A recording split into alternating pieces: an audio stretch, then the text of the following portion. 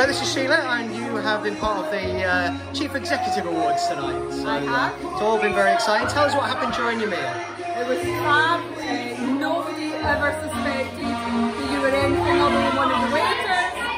And it was a, a great surprise when you suddenly came out and started singing. So thank you so much. And did you uh, did you know what was happening? Did you spot who I I knew was? what was happening. I had guessed who